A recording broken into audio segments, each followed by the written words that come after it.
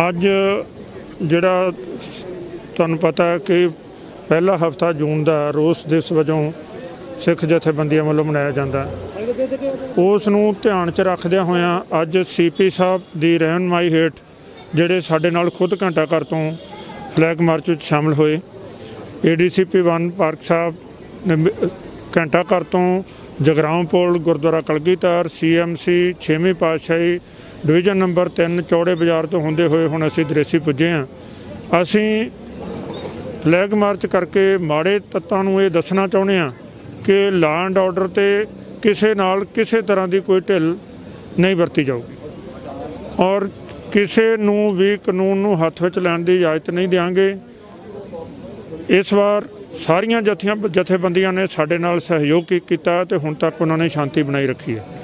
ਮੈਂ ਉਮੀਦ ਕਰਦਾ ਕਿ ਇਹ ਅਗਲੇ ਆਉਣ ਵਾਲੇ 2 ਦਿਨਾਂ ਵਿੱਚ ਵੀ ਸ਼ਾਂਤੀ ਬਣਾਈ ਰੱਖਣਗੇ ਔਰ ਇਹ ਸਾਰਾ ਜਿਹੜਾ ਹਫਤਾ, ਇਹ ਸ਼ਾਂਤਮਈ ਜਿਹੜਾ ਅਸੀਂ ਸੰਪੂਰਨ ਕਰ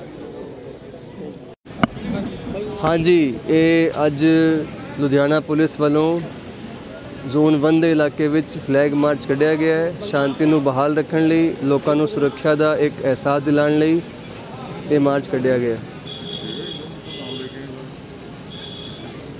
ਤੇ ਇਹਦੇ ਵਿੱਚ ਜ਼ੋਨ 1 ਦੇ ਏਸੀਪੀ ਸਾਹਿਬਾਨ ਐਸਐਚਓ ਸਾਹਿਬਾਨ ਪੀਸੀਆਰ ਕਿਊਆਰਟੀ ਤੇ ਸਾਰੀ ਫੋਰਸ ਵੀ ਨਾਲ ਹੈ ਤੇ ਸਾਡਾ ਸਾਰਿਆਂ ਨੂੰ ਇੱਕੋ ਹੀ ਮੈਸੇਜ ਹੈ ਕਿ ਧਾਰਮਿਕ ਸਥਾਨ 8 ਤਾਰੀਖ ਤੱਕ ਬੰਦ ਨੇ ਤੇ ਜਿੰਨੇ ਵੀ ਪੂਜਾ ਪਾਠ ਕਰਨਾ ਹੈ, ਸਾਰੇ ਆਪਣੇ ਘਰ ਦੇ ਵਿੱਚ ਰਹਿ ਕੇ ਕਰਨ।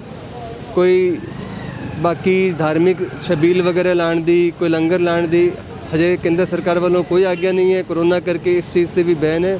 ਇਸ ਤੋਂ ਵੀ ਗੁਰੇਜ਼ ਕੀਤਾ ਜਾਵੇ। ਅਤੇ ਸ਼ਾਂਤੀ ਕਾਇਮ ਰੱਖ ਕੇ ਆਪਣੇ ਘਰ ਦੇ ਵਿੱਚ ਜੋ ਪੂਜਾ ਪਾਠ ਕਰਨਾ ਕੀਤਾ ਜਾਵੇ ਤੇ ਪੁਲਿਸ ਬਿਲਕੁਲ ਮੁਸਤੈਦ ਹੈ ਜੋ ਵੀ ਸਮਾਜ ਦੀ ਸ਼ਾਂਤੀ ਨੂੰ ਭੰਗ ਕਰਨ ਦੀ ਕੋਸ਼ਿਸ਼ ਕਰੇਗਾ, ਉਹਦੇ ਖਿਲਾਫ ਸਖਤ ਤੋਂ ਸਖਤ ਐਕਸ਼ਨ ਲਿਆ ਜਾਏਗਾ Subscribe now and press the bell icon. Never miss an update.